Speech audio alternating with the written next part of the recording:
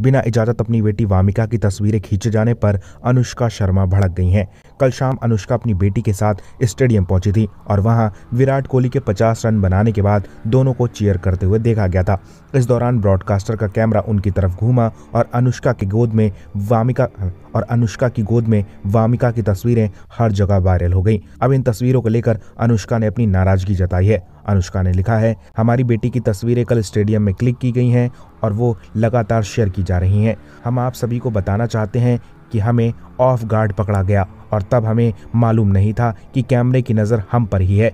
बेटी की तस्वीर को लेकर हमारा रुख पहले जैसा है। हम आपसे उम्मीद करेंगे कि वामिका की तस्वीरें क्लिक ना करें और उसे कहीं ना छापें। इसके पीछे का कारण हम आपको पहले ही बता चुके हैं। दरअसल कल अनुष्का स्टेडियम में बने एक कमरे में ही थी। कैमरे की वजह से ही अनुष्का वहाँ से महज देख रही थी, लेकिन फिर भी उन पर धोखे से कैमरा चला गया। वामिका के जन्म के बाद अनुष्का और विराट ने यह फैसला किया था कि वो अपनी बच्ची को मीडिया लाइमलाइट से दूर रखेंगे। वो अपनी बच्ची को वैसे नहीं बेचेंगे, जैसे करीना कपूर अपने बेटे तैमूर और जय को बेचती हैं। अनुष्का के इस कदम की तारीफ़ भी हुई थी, लेकिन फ़िलहाल इन तस्वीरों के वायरल होने के बाद भी अनुष्का अपनी बेटी को लाइमलाइट से वैसे ही दूर रखेंगी, जैसे पहले रखा करती थी। फ़िलहाल इस खबर पर आपकी क्या राय हमें कमेंट में बताइए। और भी ज़्यादा ऐसे अपडेट्स के लिए हमारे चैनल को सब्सक्राइब कीजिए।